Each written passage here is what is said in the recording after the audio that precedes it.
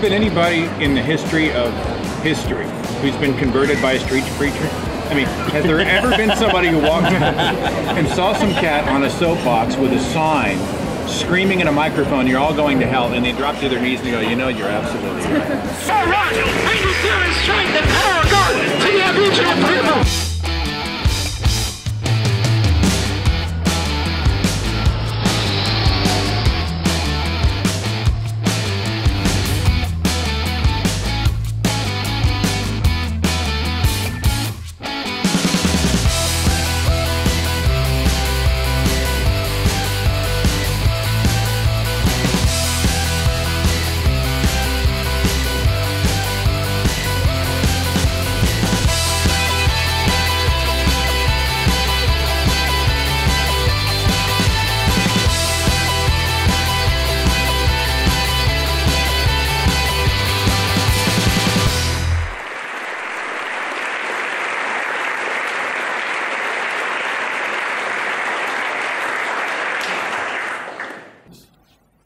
How's everybody doing? Good. I spent a summer while I'm getting set up here um, as a teenager pretending I was Australian. I, uh, a Six Flags theme park near our house had opened up a dance place, and we had season passes, and I went, and it was like shortly after Crocodile Dundee came out. Uh, and uh, I did it to pick up Sheila's, and it worked. So, good day. I was a fundamentalist Christian, a sincere Bible believing Christian for more than 25 years, uh, but not all of that was spent overly concerned about religion. I grew up in the church, was there Sunday morning, Sunday night, Monday night, Wednesday night, Thursday night, some youth group things on Friday and Saturday. Uh, not that how often you go to church is any measure of how sincere you are, because there were plenty of other people who were there all those nights who weren't perhaps as sincere as I was. And I wasn't perhaps as sincere as some other people were. As a Southern Baptist in the United States, one of the things that we're kind of that's drilled into us is that you're never good enough. And so you go out and you live life as a normal human being, and then you have to repent and kind of get right with God. And so you're right with God for a little while, and then you fall off the wagon and you have to go back. So there's this guilt cycle that they exploit. I was convinced that God wanted me to be a preacher, and Evidently, so were my parents and some of the people in the church, as were some other people in my youth group. And some of them did go on to do that. But I was terrified of public speaking. So uh, that's what I do now. and uh, in my teens and 20s, uh, you know, I was, I was really active and, and, and into it. And then I joined the Navy because I was in love, wanted to get married, was terrified of being a preacher, was, I, so I was convinced through my entire 20s, as I lived life in a predominantly secular way, but still believed, that I was running from God and that eventually it would all catch up with me. Because one of the things that religion is particularly good at is setting up all of these protective barriers so that you have a really hard time truly escaping. And so when I got out of the Navy, I worked in the tech industry for a number of years, lost my job, and said, well, this is God punishing me for not doing what He wanted me to do. And so now I'll become a preacher. God, I surrender. I'll do whatever you want. And after about 18 months of uh, prayer and study and talking to ministers and missionaries who I knew, um, I was trying to convince my roommate, who was an atheist, uh, that he should go to church with me. Uh, because I didn't want to get, get, to heaven and have God say, Why is the, your best friend, who you love like a brother, in hell? Why didn't you share? Uh, and it backfired spectacularly. Amen.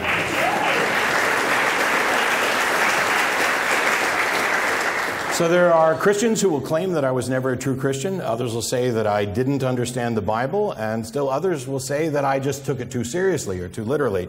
Evidently, the Bible needs to be taken with a grain of salt. And um, I'll just keep the salt and chuck the book for the most part. Uh, probably should cut down on the salt too, I would imagine. But uh, so we're all familiar with some, I would expect, of some of the strange stories in the Bible that don't make much sense talking snakes and donkeys, miraculous wars that are thwarted by chariots of iron, uh, floods that are survived by a single family with a boat that seems to be bigger on the inside than on the out. How did I believe this stuff for so long? There are a few kind of lesser known Bible stories that I'm going to talk about a little bit to, to kind of explore this, this subject and, and how I found my way out, what, what didn't click, and why it seems perplexing to me now that more people haven't found their way free of this. There's kind of a strange narrative going on in the Bible. When I was a believer, it always read like a collection of warnings and a collection of guidances uh, to help us live our lives. Stories demonstrating God's love for us, steering us away from harm, and working towards whatever His planned conclusion was going to be. And if it's difficult, it was our fault. If it didn't make sense, it was our fault. And we're limited creatures. God's ways are not our ways. And when I read the Bible today, I have a completely different take. It's like a sad, dark comedy of God's failures, uh, chronicling this inept God as he keeps making plans and they fail and he can't seem to figure out why. You know, he's perfect, or so we're told, but instead of making perfect beings, he makes imperfect beings and seems surprised when they don't behave perfectly.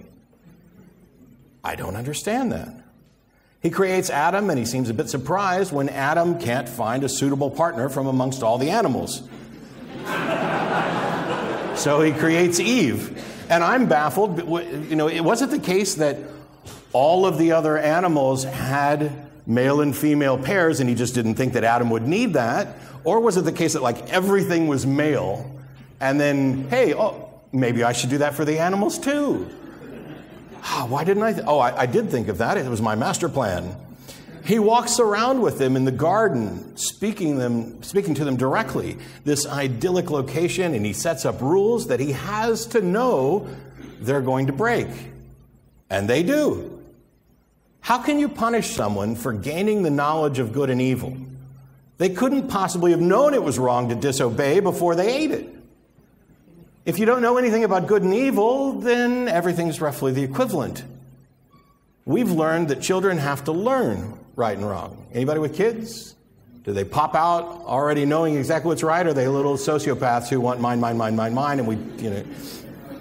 We've learned that children have to learn right and wrong, and we don't hold children accountable in the same way we hold adults accountable. But this God not only punishes his new children, he punishes all of their descendants forever. I mean, talk about overreacting to everything. And he does this for what must necessarily be his mistake. Now, either he planned this, which makes it his fault, or he was too inept to actually see this coming, which makes it his fault. And he doesn't seem to know much about sociology or culture or psychology, child rearing, or much of anything else. It's just plan after plan that fails over and over again. But why did he create anything in the first place? I mean, was he lonely? Does he know what it's like to be lonely? Can you be perfect and know what it's like to be lonely? I would think that would be a detractor. How do you create anything to begin with? Because if, you know, if our big model, Big Bang model is, is correct, then time began then. So if you created time and you exist outside of time and creating is an action and actions take time, then you don't have time to make time. What? I guess he figures we're just never going to figure that out. But why create the entire universe if you're going to focus on one little insignificant planet? Was he looking for someone to punish? I mean, is that, is that his thing? Hey, I think I'll just make a bunch of people because I know this is going to go wrong because I just really feel like kicking some ass. It doesn't make any sense. So after the plan with Adam and Eve fails, he kicks them out. They spread their wickedness around. He decides to reboot the entire world, saving only Noah and his TARDIS like boat. Surely this will fix it, right? I mean, the first plan failed because he's created imperfect beings, so the second one will surely go well when he saves one family of imperfect beings. Uh, but it fails. I don't, I don't know how I didn't see that coming, but it fails. And at this point, we've got a pattern. And you, you, he, you can investigate these things and try to make it look as though he's really trying and that this stuff actually makes sense in some way if you work really hard at it. But then the character of God in the Bible begins to shift a bit. Just a few hundred years after Noah, the population has miraculously exploded to the point where they're constructing a city and a tower. And most of us have heard about the Tower of Babel. And I wonder what you were told about why God destroyed it. When I was a kid, it was about these individuals were arrogant and they were trying to put themselves at God's level and build a tower up to the heavens and this was prideful, and he needed to keep us down at our level. And I just accepted, oh, yeah, that makes sense. I mean, he's God. We shouldn't be at his level. Then What were they thinking? Why were they so arrogant? Now, when I look at it and I hear that particular apologetic, I think, so what? If I'm God and there's a bunch of people who are trying really hard to be like me or reach me, and they can't, we've been to the moon, by the way, so we know that a tower is not going to actually get to God. And I would think that God would know this, so there's really nothing to object to other than thought crime, that you're arrogant. But if God, if, the, if I were God and they were trying to build a tower, I'd just kind of shrug it off. But he says, you know, oh, look how quaint, uh, silly little humans. Let's, you know, sow some confusion and spread them. Please open your Bibles with me to Genesis chapter 11. You all brought Bibles, right? No? Hmm. Have to take my word for it. Let's see what the Bible actually says about the Tower of Babel. Genesis chapter 11, verse 4 And they said, Go to, let us build a city and a tower whose top may reach unto heaven, and let us make us a name, lest we be scattered abroad upon the face of the whole earth. And that's where most English speaking pastors get this idea that they're somehow arrogantly trying to reach heaven. But the Hebrew word used there merely means lofty or high in the sky. So there's nothing about that verse that says they were actually trying to reach God. They just wanted to build a big, tall tower.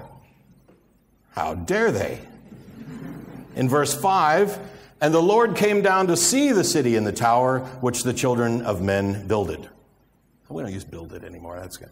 But he came down? Why?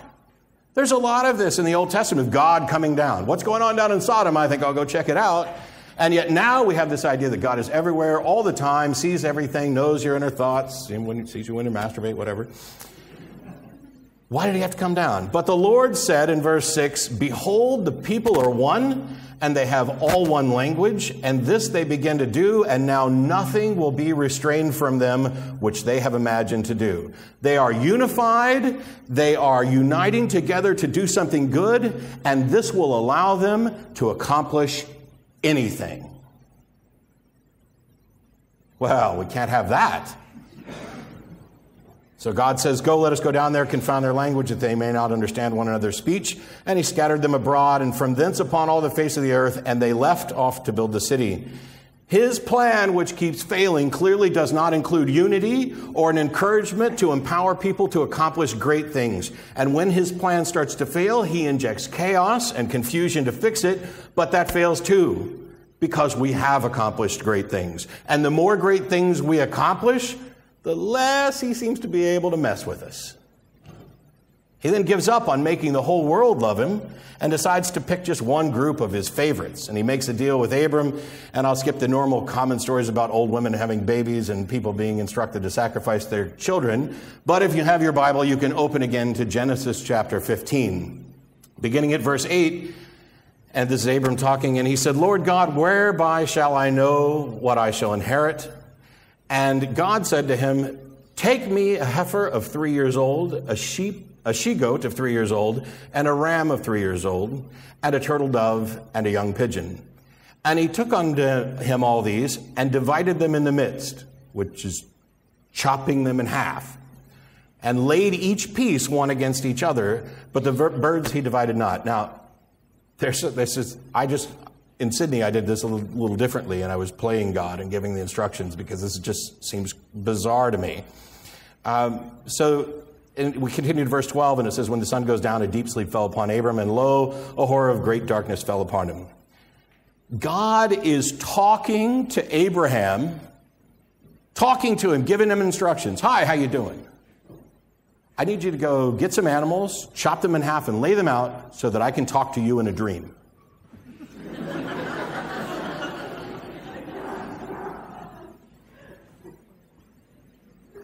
Now, why does God communicate this way? Why wouldn't He speak directly to all people? Is one of my biggest questions. Why does He speak directly to some and then give them instructions on how He can speak to them probably much more clearly in their dreams? And it, why would He sow the confusion amongst all the rest of us that Abraham appeared to be engaged in some sort of blood magic ritual from what Christians and Jews would consider to be pagan sources in order to get a vision if He's already talking to him? And, uh, you know, if I stood here tonight and said, hey, I've got a message for you, but I'm not going to tell you, instead, I want you to perform what appears to be blood magic, and then I'll come to you in a dream and tell you more, you guys would think I was daft. Why? You're, just tell me. Why is that so hard?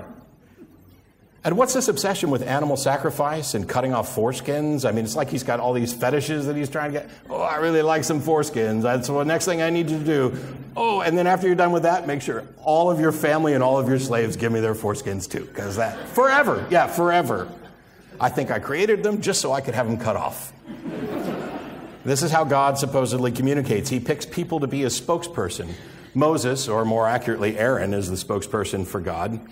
Every single prophet is a spokesperson for God. Most of the stories involve picking someone to speak for him, having a plan for them to accomplish, and then when it fails, killing everybody off and picking a new spokesperson. And why not just talk to everybody? If a Damascus Road experience is good enough for Saul, why isn't it good enough for the rest of us? Why is he picking favorites? Why did he ever make the mistake of thinking that communicating via Chinese whispers was a good idea?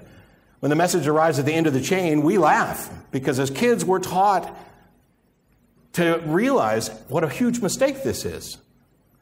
But if we had something important to say, I don't think we'd do it that way. We already realize. How is it that the all knowing creator of the universe doesn't realize that this is a horrible way to communicate information? Why doesn't he also realize that communicating to people and having them write it down once upon a time in languages that change and die off is also one of the stupidest things you could do? If you've got an important message, maybe you should treat it as if it's important. So, what excuses did I hear? What excuses do theists hear when they start raising questions about these issues, saying the Bible just doesn't make any sense? Well, first thing you do is you ask others, others in your congregation, and you get a variety of answers. And then you ask ministers, and then you'll ask God, because uh, those, those are actually the other people and the ministers, they're your first line. You might pray all the time, but if you actually want an answer, you know you're not going to get it.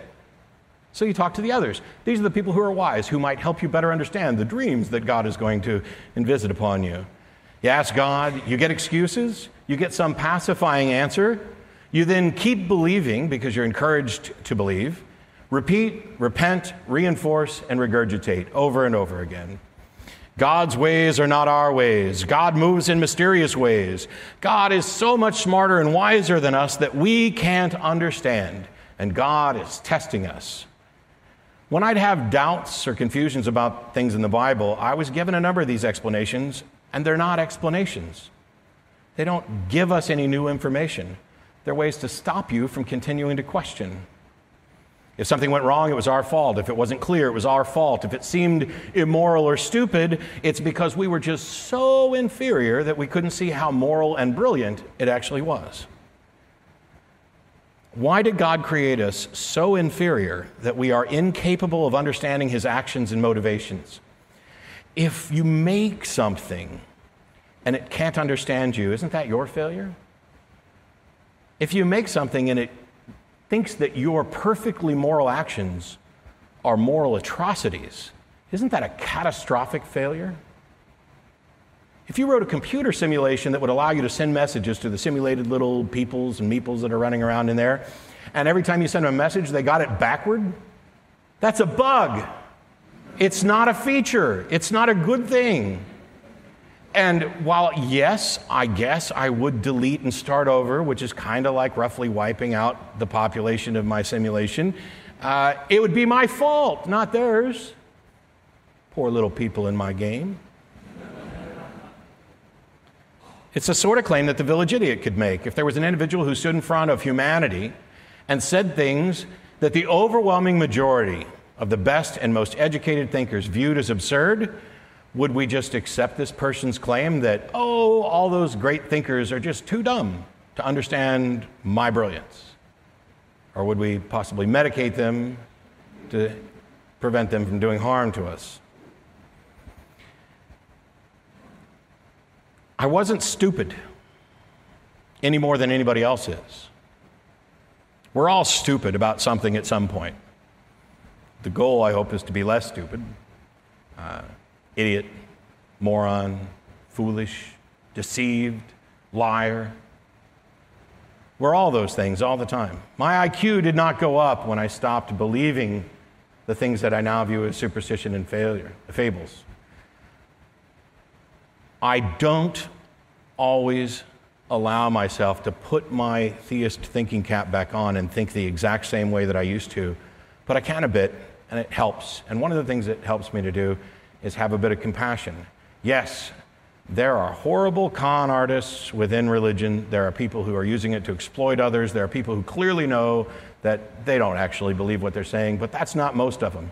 They're not all mega pastors. Most of them have second jobs, most of the pastors in the small towns. I look at them as victims, and not victims in the saccharine pity sense, but victims in the sense that they are human beings who have fallen prey to a bad idea, and we can help.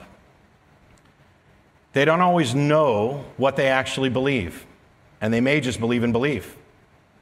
In other words, they may not be, may not be convinced of the specific claims that their church are true, but they may be convinced that it's important and valuable for them to proclaim that they believe and then act as if they believe.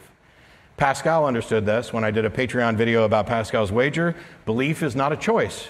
You believe something, that means you accept that it's true. You didn't just choose to believe, you do make choices to some extent. But belief is the state of being convinced, and you become convinced, and you can become convinced for good reasons or bad reasons. And Pascal pointed out that if you don't believe, if you think that you can't believe, you aren't convinced, you should act as if you believe, because belief will come later. Pascal was encouraging intentional self deception. When I was in Sydney, I took some time out to speak to some street preachers, and uh, that was fun. Um, we got there, and Aron set up shop over on one corner where there was somebody preaching with a megaphone and uh, I went over to another corner, and I just stood there and I waited because I know what they're going to do. I don't have to go door to door. People were like, oh, you should come join our forum. Somebody was saying that earlier. You should join our forum if you want an argument. I've been doing this for 10 years on the show and more years before that. I got more than enough arguments. They come, they call me, they email me. I don't ever have to go looking for one. And as I stand in front of the preacher, I know in just a second he's going to walk over to me and want to share uh, his love for Jesus. And I got in the, I had three different conversations. The first one, he just kept getting louder. He didn't know the Bible. He tried to make excuses. We talked about slavery because that's my go to. It's really simple. Is slavery immoral? Oh, yes. Is the Bible the Word of God? Yes. Is God moral? Yes. Then why does he say you can own slaves? Why does he expressly say in Exodus 21, Leviticus either 23 or 25, and then again in Deuteronomy, that you can enslave your fellow Jews, but you have to let them go after six years unless you trick them by giving them a wife and kids? Why does he say, uh, as far as owning other people other than Jews, they are your property forever? You can buy your slaves from the heathen who surround you, pass them on to your kids, you can beat them as long as they don't die within a day or two. Oh, no, no, that's the Old Testament. Yeah, you know what else is the Old Testament? The Ten Commandments, original sin, all of the prophecies that you want to cite for Jesus. You don't get just, just chuck out that entire section.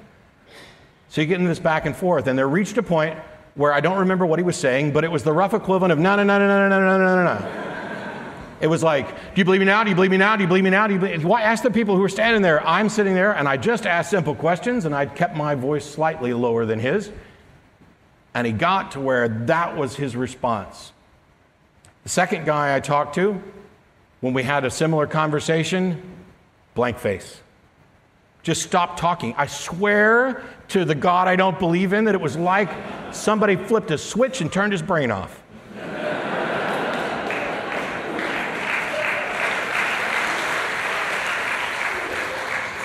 And he said, You're pretty good at this. Thanks so much for your time. I'm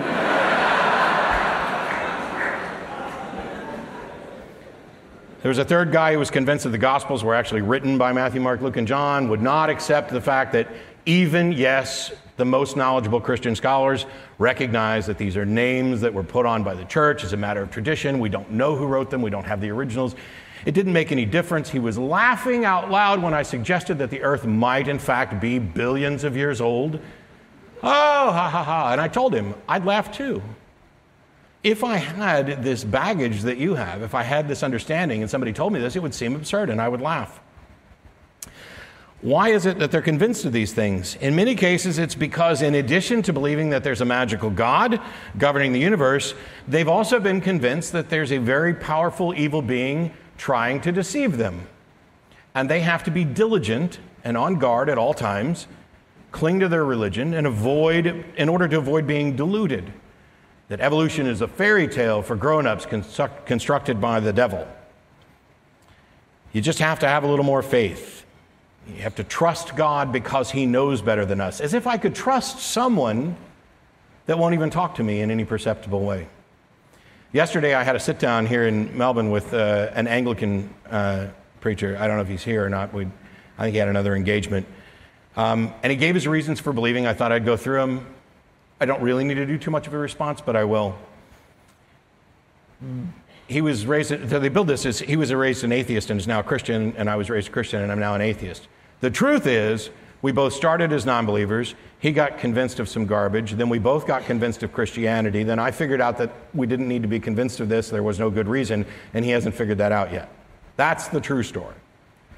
Why did he, why did he become a Christian? Well, he spent a lot of time talking about how he fancied a girl who was Christian, uh, how he met some happy Christians, how the girl's father took him out on a beach at night and uh, basically tried to instill in him this idea that his atheist views meant that his life was without value and that he could strangle him right on that beach, chop his body up into little pieces, and use it to fertilize his garden. The love of Christ. Uh, and and that this was, this was one of the reasons that he was convinced to convert. But there's more than that. He was also convinced because he can't believe that all of this is an accident because he wants there to be an absolute foundation for morality, and because he doesn't like the idea that we start and end as nothing, so the middle must be worth nothing as well. None of those are reasons to believe, even if they were correct. You like a girl who's a. What would happen if you met a Hindu girl or Buddhist girl or secular humanist girl? Woohoo! He met some happy Christians. I met happy all kinds of people, and happy drunks there's an old, I'm, I'm, stealing somebody else's material there about, about the fact that a drunk person's happy is irrelevant. But yeah, it is. I've met tons of happy secular humanists. They, people have this idea that, oh, you can't have any joy in life from the clip earlier. I get more hugs and more smiles and have more fun.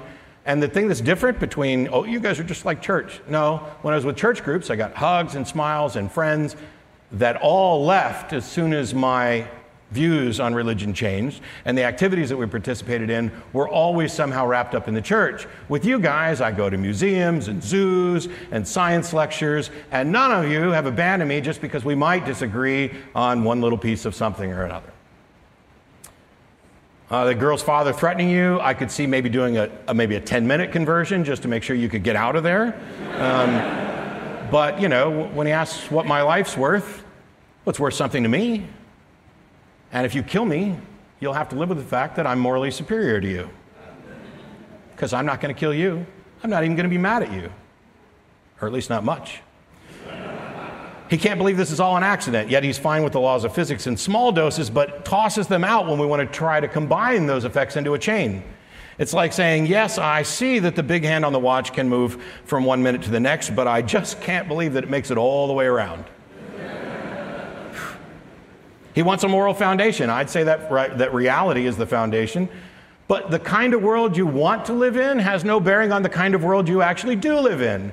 So maybe there is no moral foundation. If you really want some abstract, transcendent, fixed, objective moral standard, cool. Doesn't mean it's there. And it's not a reason to believe. Oh, we begin with nothing, we end with nothing. That means the middle's nothing. Baloney. Does that mean that the meal that I ate has no value because I'm going to have to eat again later? My life has value to me now. It's the now that matters. The now and what's ever coming next. Leave the past behind. And if it turns out there's an afterlife, bonus. And if I turned out, turns out I'm burning in hell, as the, the other pastor told me today, um, oh well, I can't do anything. I can't do anything to fix it. I could not convince my mind to worship anything, even if I knew it existed, but definitely not something that I found morally repugnant. I'd rather burn and know that I'm better than the person who's burning me. When you appeal to gods to try to solve these questions, They may pacify, but that's separate from whether or not it's actually true. Today, there was a pre- street preacher I engaged with who denied science, appealed to faith, acknowledged points, admitted he admitted that faith was unreliable. There's a little tap dance. Adam will post a, I'm probably running long on time, but Adam posted a, video uh, or audio of the exchange. It was fun. One of the most honest street preachers I've ever come across. Hey, why do you believe?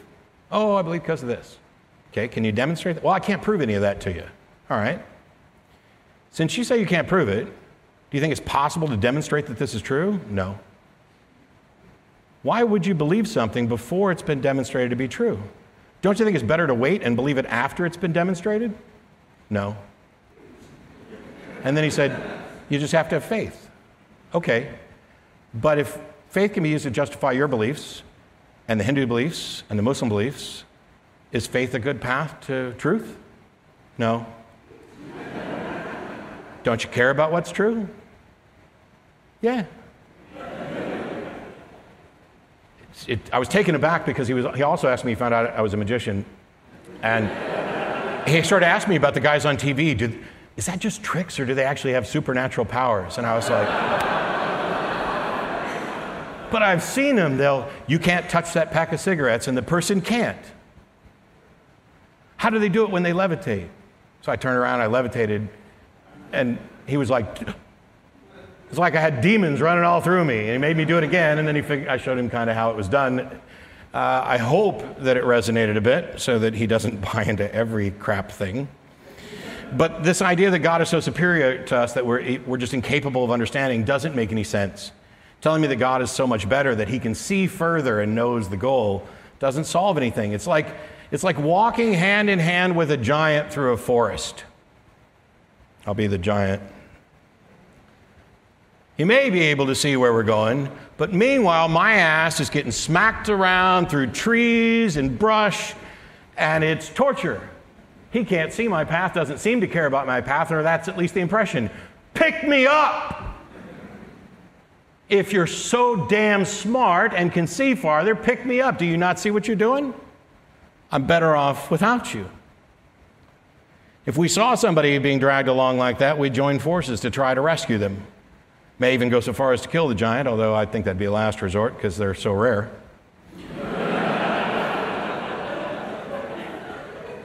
so either pick me up to your level or piss off.